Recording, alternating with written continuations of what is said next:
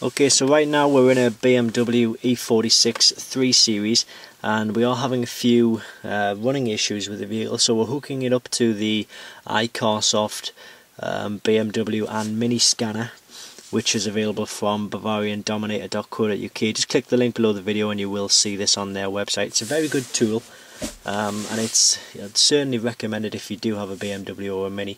Um, what we'll do is we do know that the the vehicle is running with a a bit of a fault. Um, it seems to be cutting out unpredictably. Um, so we'll we're going to go in and diagnose here. So first of all we know it's a 3 series that we're in. It's an E46 at this stage the um, the ignition is switched on. So the scan tool can communicate with the vehicle. Um, so we're just going to do a quick scan of the engine and see if it comes back with any faults. And it should tell us what the faults are. And these faults should relate to a particular module uh, sorry a, a, particular part of the engine. Um,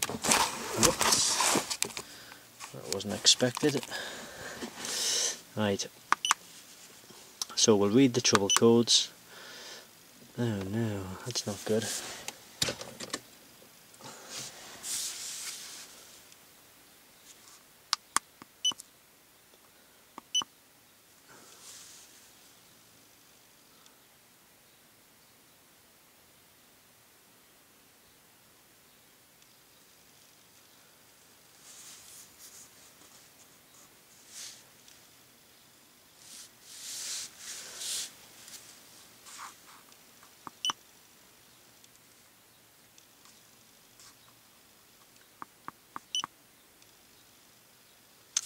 Alright, here we go.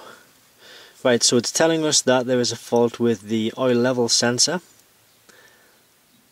That is code 27C3. Um, mixture adaptation bank 1 control limit 272A. Uh, detection rough road. Don't know what the hell that means. Um, oh, hang on that one there 2783 hot film air, air mass flow sensor.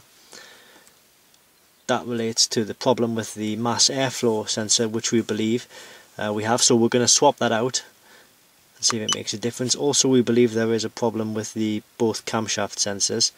Um, so we've got 27BD and 27B5 um, then we've got a temperature sensor intake temperature sensor. So it's it's thrown up quite a few faults actually. Um, as I say, it's a, it's a very useful tool to have, especially in this particular situation whereby we need to find out what the faults are to get the vehicle back up and running. Um, so there it is, that's the BMW and Mini iCarsoft i910 and as I say you can get this from www.bavariandominator.co.uk uh, or click the link directly below this video.